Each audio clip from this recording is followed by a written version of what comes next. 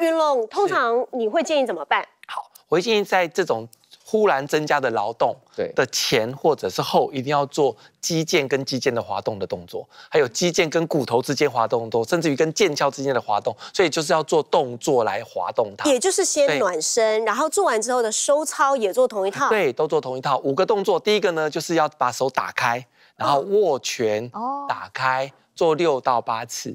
OK，、第二个呢是半握拳，是这样子，这样子。这样这样子。刚才握拳不是手指头收进去，对。不要收，好、不要收哦，对，不要收，就是握起来，但是不收指头，好，这样子。啊，嗯哼，哎，没有，你有收指头，要把它变平的，这样，对对对。然后所以要往下一往下压，打嗯。打开大拇指，再点小指头的根部，对，然后打开压，哎为什么要到做这个八动作？因为就是做肌腱的滑动，避免妈妈手嘛，啊，就是要做肌腱的滑动哦。是然后第三个呢，要做鹤嘴哦，打开做鹤嘴，喝嘴打开嘴往后仰，然后鹤嘴，对，做鹤嘴的动作，手指头抓起来，再做抱拳的动作。等一下，等一下，嘴还要往后仰，往后，因为要做全关节角度，尽量打开，然后再勾起来。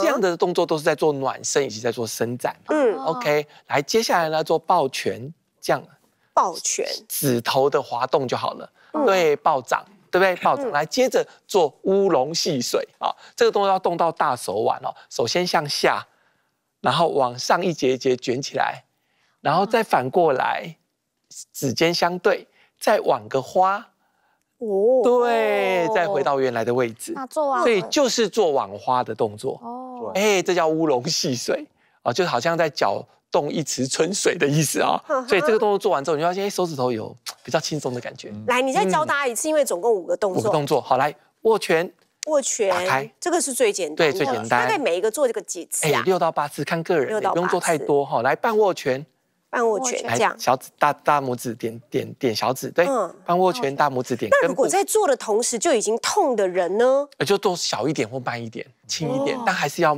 慢慢增加角度。对，然后手打开，鹤爪。第三个是鹤爪鹤嘴，往对，鹤嘴。后倾，喝爪，对，鹤嘴。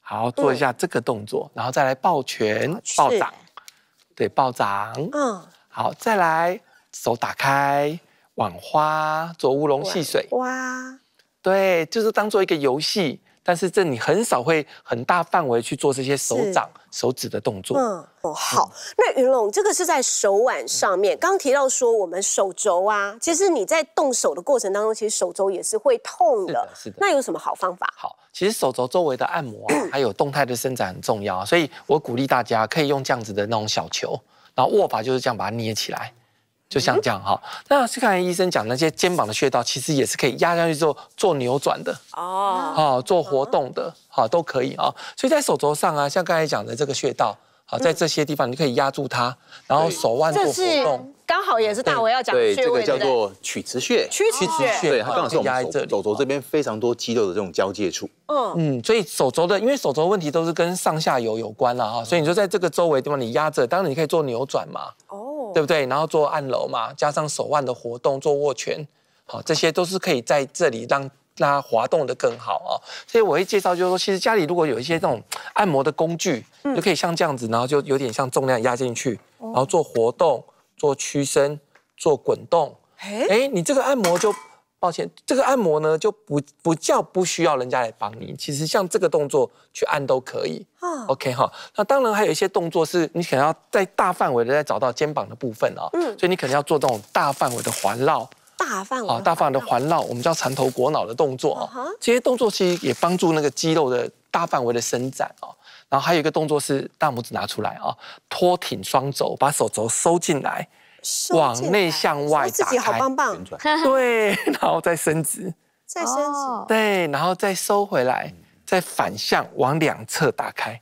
哎，这个有点卡住了，再教一次再。继续向外向外，对对对对，你有旋转，哦好，所以在做这种大范围的这种动态的活动，好，所以你会做完这些手肘会觉得比较舒服，所以我会比较建议就是稍微帮自己按摩过，然后再来做这种大范围的手肘的动作，就可以预防这个肩那个手肘周围的劳损。大家好，我是健康主播郑凯云。喜欢我们的影片呢，欢迎帮我们订阅、按赞、分享，还有开启小铃铛。